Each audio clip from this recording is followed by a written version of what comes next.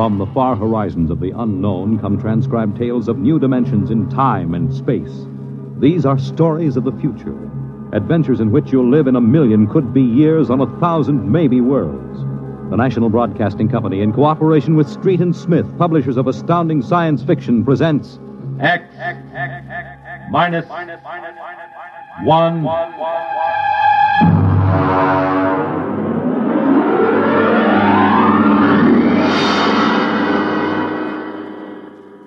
Tonight's story A Logic Named Joe by Murray Leinster.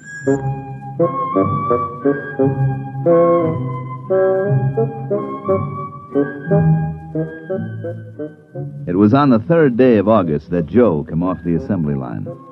And on the fourth, Maureen came into town.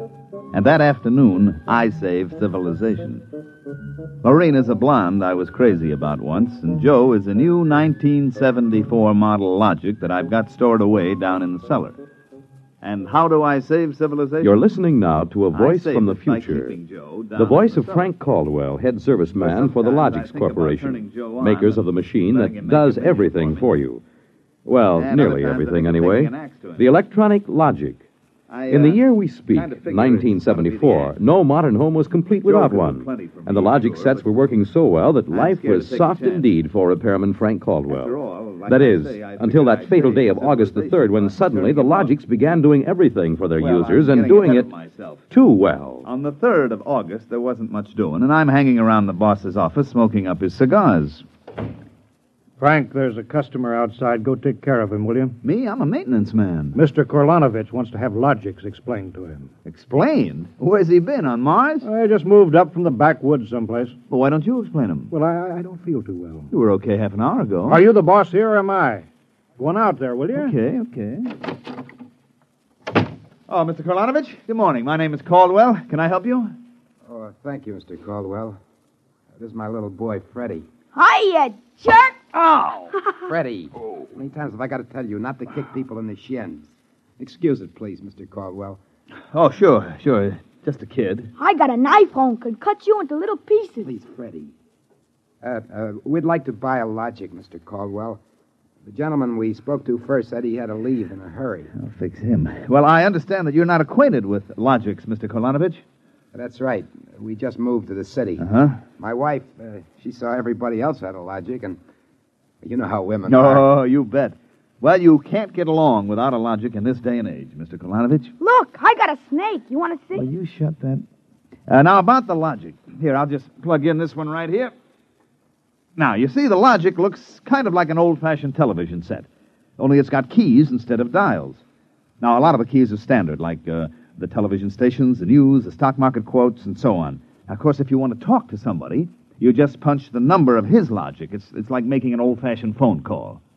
But there can't be keys for everything. Oh, no, no, no, no. Now, let, let, let's say that you want to ask a question like uh, what to take for a sore throat or uh, who won the American League pennant in 1911. You turn on the logic, then you just punch the question key and ask, like this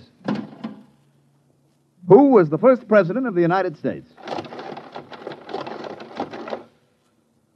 George Washington. There, you see.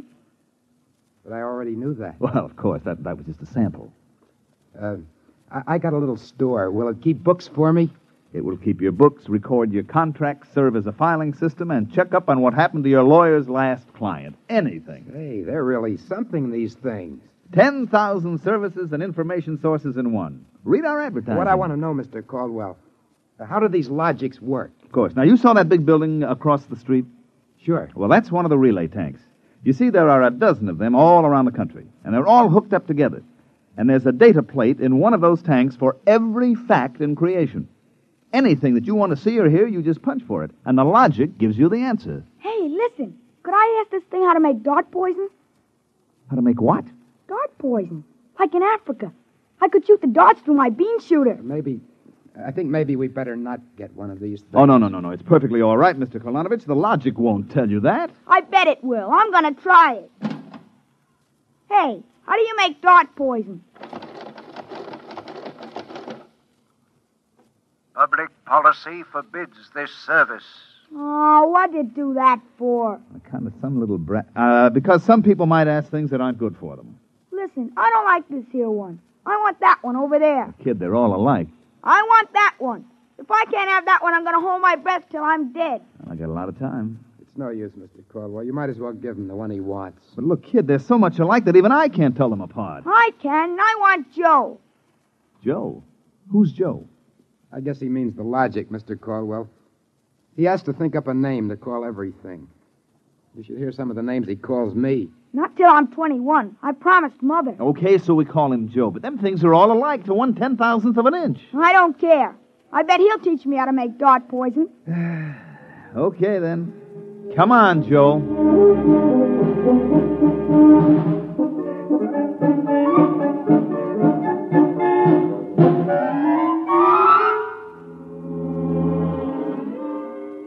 So he keeps yelling, I want that one. I want that one. I'm going to call him Joe. Mike, I tell you, I could have wrung his neck. How many cards? Uh, I'll draw two. What a holy terror. He had his father scared to death. It's too bad that kid ain't mine. I'd show him quick enough who was boss in the family. Oh, holy smoke. What's the matter? I'm sorry, fellas. I gotta hold up the hand a minute. I just remembered. Oh, I gotta call my wife. Oh, let her wait. You ever met my wife? Hey, what's the matter with this thing? It ain't getting my house. Announcing new and improved logic service. Hmm? Your logic is now equipped to give not only consultative, but directive advice. Hmm? If you want to do something and don't know how to do it, ask your logic. Hey, did you guys hear that? Well, they should have told us about oh, this. Oh, it's just somebody trying to pull a gag. Oh, it didn't sound like a gag to me. Yeah, maybe the boss decided to add a new logic service. Look, the minute the system starts giving advice, some joker like you is going to be asking questions like, uh, how do I get rid of my wife? Oh, no. The boss knows better than to start anything like that. Yeah, but you heard what the logic just said. Oh, listen, the censor circuits will block the question. You don't believe me? Go ahead and try it. Well, anything for a gag. Okay, Logic, I got a question for you. How do I get rid of my wife? Service question Is your wife blonde or brunette? You guys hear that? Uh, she's a blonde.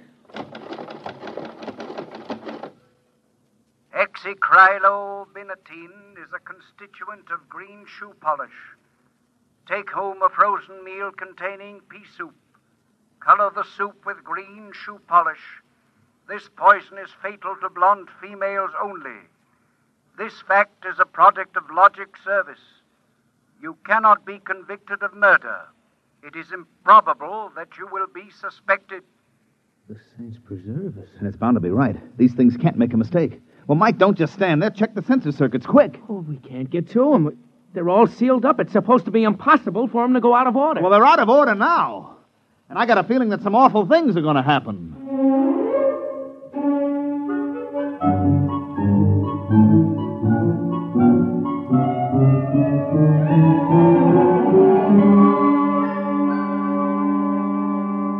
Boss, we've got to do something. The logics have gone nuts. Now relax. The thing gave a goofy answer once. Maybe it was a joke. But- it was an accident. Now forget it.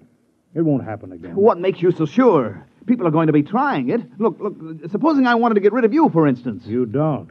How would you collect your pay? I know, but just supposing. Now, look, we'll try it. If you want to do something and don't know how, ask your logic. How do I bump off my boss? Male, fat, bald headed, and 45. Make some chocolate ice cream containing powdered charcoal in place of half the chocolate. Use Hotso brand charcoal. Hotso contains an ingredient fatal only to fat, bald headed males. This fact is a product of logic service. Now, now, now, look, Frank, I admit these things have gone a little wacky, but there's nothing to worry about. Nothing to worry about. If this keeps up, what do you bet that we'll have to shut down the company? You kidding? We can't shut down the company, and you know it. Logics have taken the place of everything but night baseball. We shut them down, we go back to a civilization that we've forgotten how to run. Yes, but boss, there's no telling what they'll do. Listen, now, you've asked these questions for a gag. Nobody's going to ask them seriously. What you need is a little faith in human nature. Excuse me, it's probably my wife. Cyrus, dear, how do you feel? Why, just fine, sweetheart. What have you been doing? I just called to tell you, Cyrus. I've got your favorite dessert for dinner. Uh, uh, uh, dessert? Uh, What kind? Homemade chocolate ice cream. Cyrus, when you taste it, you'll just die Cyrus, what's wrong? Uh, why don't you answer me, Cyrus? Chocolate ice cream. Look, uh, This, this can't be happening. Why, this, this is awful. Th- These logics are dangerous. Have a little faith in human nature. Now, Caldwell, you're the head of the maintenance crew. I'll give you 24 hours to fix these logics or you're fired. Well, now look, boss. what I are you standing there for? Get in the service car. Get moving. Where? Anywhere. Find out what the logics are up to and see that you find out before the logics do.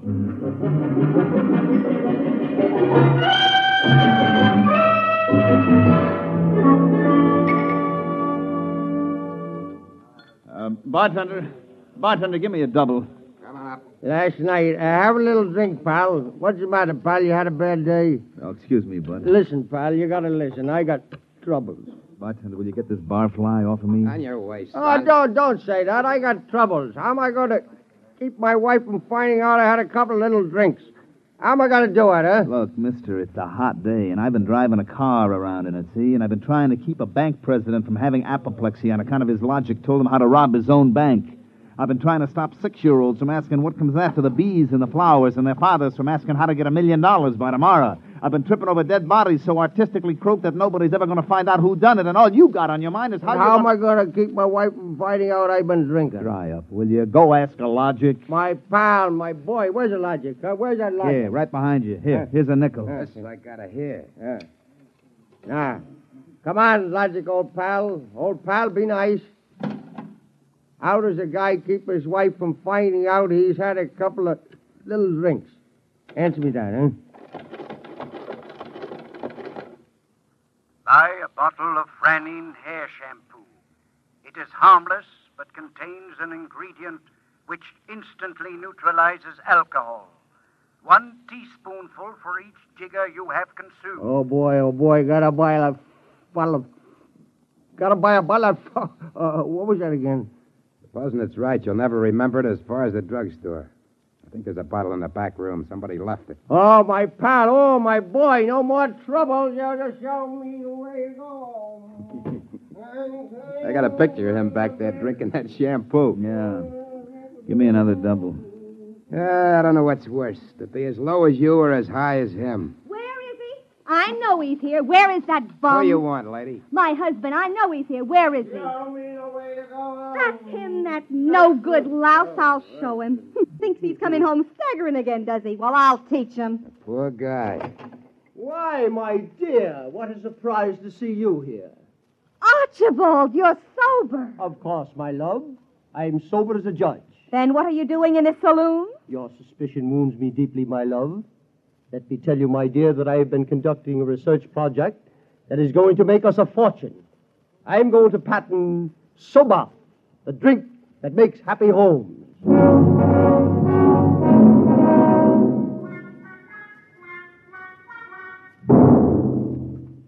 Look at this blotter, Caldwell. Blank. The greatest crime wave in history, and we can't even make an arrest. They're all perfect crimes. Thanks to the logics. But, Sergeant, we're doing our best to find well, out. that's not good enough. You can't find out what's back of this. Shut down the company. Unless the police department will. Look, nobody is back of it. The logics run themselves. They pick their own circuits automatically. Ah, you mean they're, they're doing all this by themselves? Sure. We always knew they could do a lot more things than, than we knew about. I I think they're just trying to be helpful, that's all. That's all, huh? Well, you better make 'em cut out the tricks, including this new business they're up to now. What new business? Just started an hour ago. Every time you turn on a logic, it asks your name, and then it spells out the whole history of your life. What? I haven't heard about that. Well, what's it do that for? You tell me. Go on, go ahead, try it. Okay. What is your name? How do you like that? I'm Frank Caldwell. Frank Caldwell. Were you ever called Ducky? Ducky. Wow. Lay off, will you, fella? What if I was? It's been years. Ducky, there is a call for you.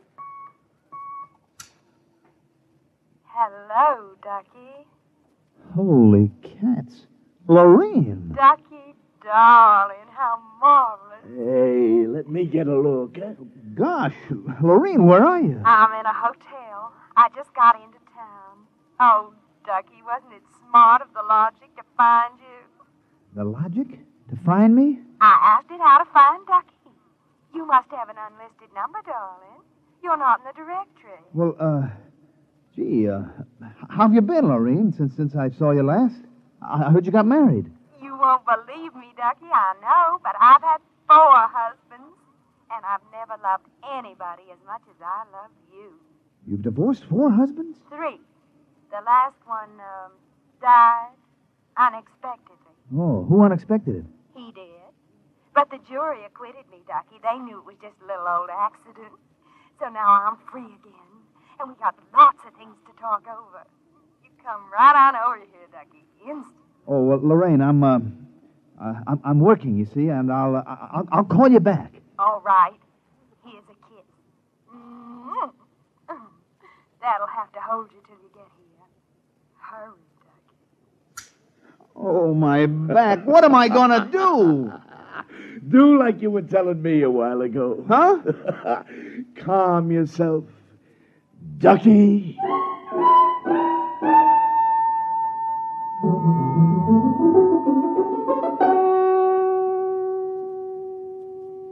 Call on the logic for you, Frank, your wife. Oh, thanks, Mike.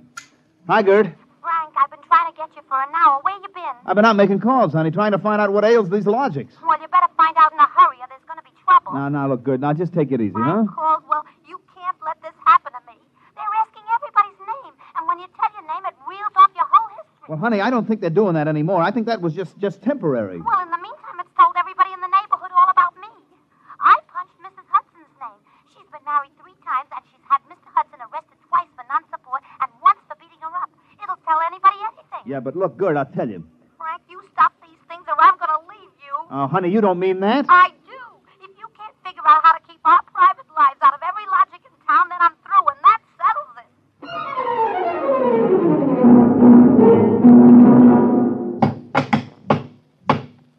I can't even budge any of these relay plates. Me either. Isn't there some way we can disconnect them? Nope, there is not. They weren't built to be disconnected.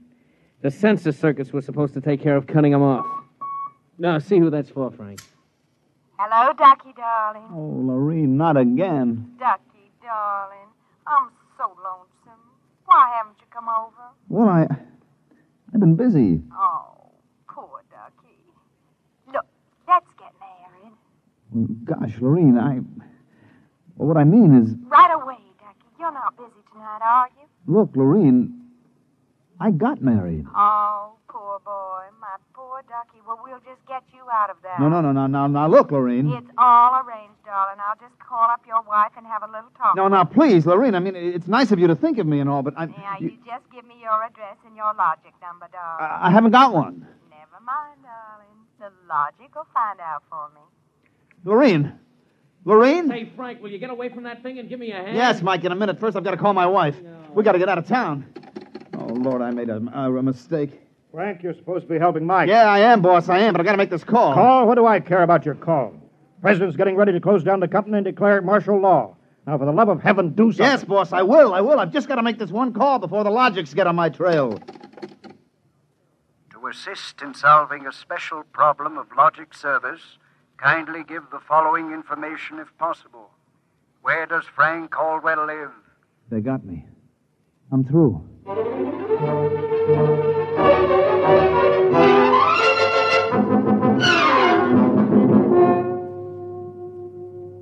Look, Gert, will you please not ask any more questions? Frank Caldwell, I told you I was leaving you. Honey, leave me later. Right now, will you pack up yourself and the kids? We got to get out of here. But what is all this? Are, are the cops after you or something? Yeah, yeah, that's it. That's it. The cops.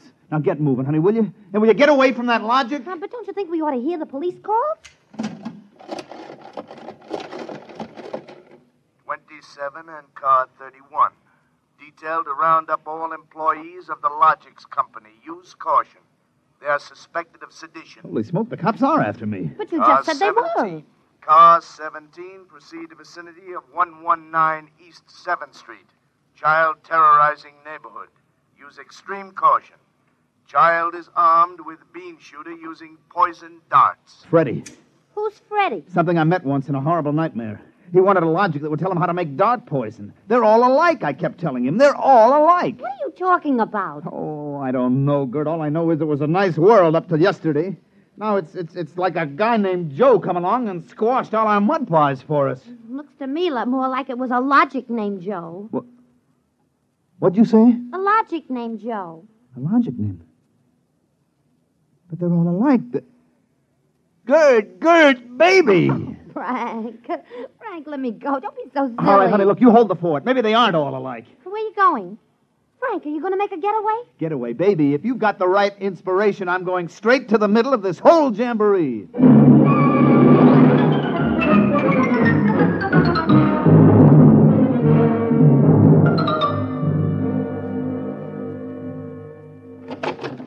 Yes? Oh.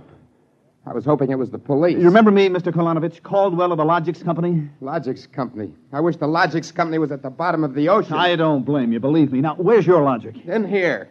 I'd smash it into a million pieces if I wasn't afraid of what Freddie would do to All me. look, just just get out of the way, will you? I've got business with Joe. If you want to do something and don't know how, ask your logic. Oh, we're back to that routine, hmm?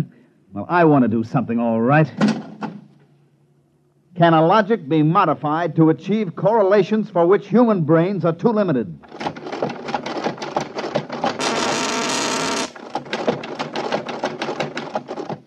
Yes. How great will the modifications be? Microscopically slight. Changes in dimension not detectable even by precision gauges. They can come about only through an extremely improbable accident. And what would this super logic then be able to do? Come on, you, spill it. It could set up entire new combinations of electronic relays, which would bypass the normal censor blocks, thereby enabling it to perform valuable new services, including the giving of helpful advice on any human problem. Uh huh. And has this accident ever happened?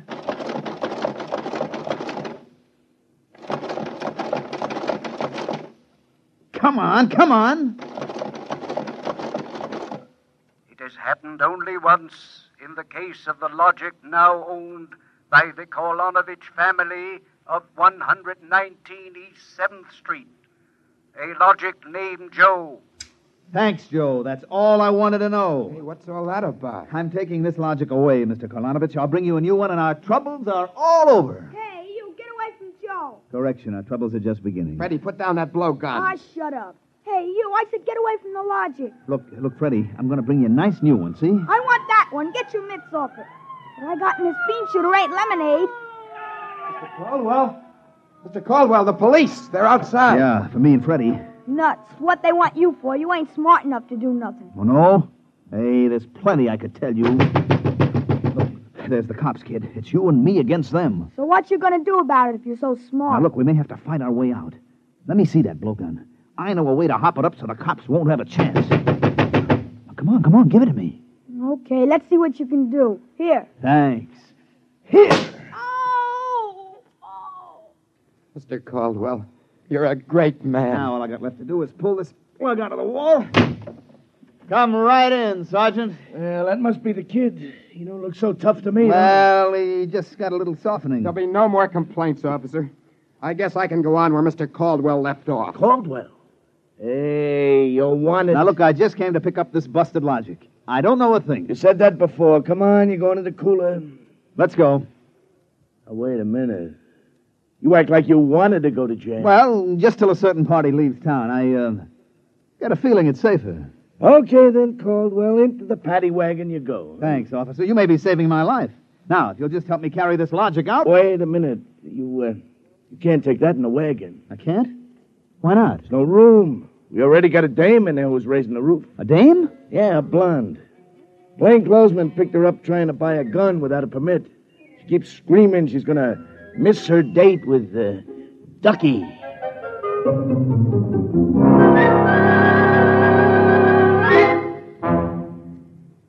You have just heard X Minus One, presented by the National Broadcasting Company in cooperation with Street and Smith, publishers of astounding science fiction. Tonight, by transcription, X Minus One has brought you A Logic Named Joe, Adapted for radio by Claris Ross from the story by Murray Leinster. Featured in the cast were Mandel Kramer, Wendell Holmes, Guy Repp, Bill Zuckert, Walter Kinsella, Bob Hastings, Joseph Julian, Joey Fallon, Mary Lou Forster, Ann Thomas, and Mary Patton. Your announcer, Fred Collins. X Minus One was directed by Daniel Sutter and is an NBC Radio Network production.